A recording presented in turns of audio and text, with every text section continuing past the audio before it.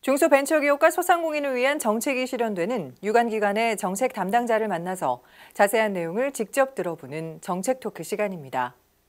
이번 주에는 중소기업진흥공단 이상직 이사장을 만나보고 있는데요. 지난 시간 청년 창업 사관학교 소개와 자금난 해결 지원 방안에 이어 이번 시간에는 인력난 완화와 일자리 창출을 위한 중진공의 노력에 대해 들어보겠습니다. 정책 자금 융자, 수출 마케팅, 인력 양성 등 각 사업 연계 지원을 통한 중소벤처기업 원스톱 종합지원기관 중소기업진흥공단 중소기업에게 희망을, 벤처기업에게 날개를, 청년들에게 일자리와 꿈을 주는 중소기업진흥공단 이상직 이사장을 만나봅니다.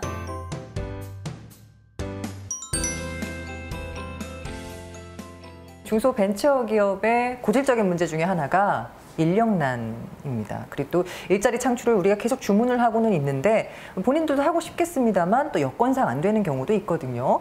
자 여기에 맞춰서 중진공은 어떠한 노력을 기울이고 있는지 좀 궁금한데요.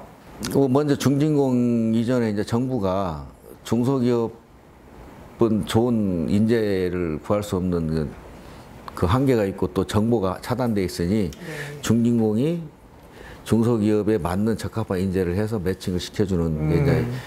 인력센터 인력 지원 사업인데요. 그리고 또 중소기업이 급여가 한계가 있잖아요. 예. 그 회사 이익 구조나 뭐 등등 이런 것 때문에 그래서 이제 그 중소기업에 진출하는 그 직원들에 대해서는 또 정부가 내일 채움 공제라 해서 뭐 3년, 5년만 목돈을 주는 뭐 이런 걸 하고 있는데 거기가 이제 저희가 집행하는 기관이기 때문에 이제 그걸 열심히 하고 있다는 거 말씀드리고요. 두 번째 예를 들면 그렇게 사람을 구할 수 있는 여건을 만들어 줘야 하잖아요. 그 그렇죠. 기업 입장에서는 정부 지원도 한계가 있고 그래서 이제 혁, smart factory 혁신 기업이 필요한 겁니다. 예를 들면 이제 남동공단 같은 예를 들면 네. 거기는 학군이 좋습니다. 그렇기 때문에 중소기업 인재를 구하기는 쉬워요. 교육을 아이들 학 교육을 시키면서 가까운 곳에 바로 공단이 있기 때문에 그렇죠. 그런데 그 그런 남동공단에 입주한 기업들이 빨리 더 크면 더 많은 인재들을 채용할 수 있으니까 그런데 땅값이 비싸기 때문에 공장을 뭐 늘리기도 한계가 있고 이런 거 아니에요. 그렇기 때문에 지금 하고 있는 제조 공법을 스마트화하면 smart factory로 하면 수주가 한 세 배 정도 늘, 늘고 이익도 많이 나고. 예.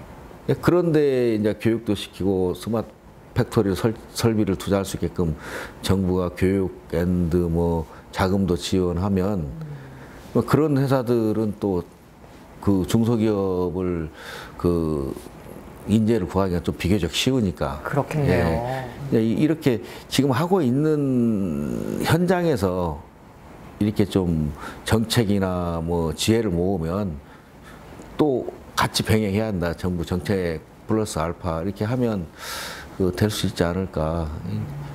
그러니까 어떻게 보면 눈앞에 있는 것만 볼 것이 아니라 좀 전체적인 그림을 보고 복합적인 지원을 하고 있는 거군요. 예, 저희는 이제 중소기업 진흥공단은 그런 것들을 복합적으로 하고 있죠. 네. 저는 이제 정부도 좀 그렇게 좀 넓은 시각을 가지고 이렇게 해야 되지 않나 이제 말씀드리는 네. 거예요. 아까 조금 전에 말했듯이 그 또한 다 돈이 들어가야 되니까. 그렇죠. 예, 예, 그런 것들을 내가 이제 복합금융이라는 걸 표현을 했던 거고, 음. 좀 이런 게 좀 같이 어우러지면 뭐 좀 더 지금 중소기업도 좀 빨리 성장할 수 있고 글로벌 기업으로 되고 또 또 스마트화 되는 면 혁신 기업이잖아요. 그럼 또 좋은 인재들이 또 맞아요. 많이 몰리고 이렇게 될 걸로 저는 생각하고 있습니다.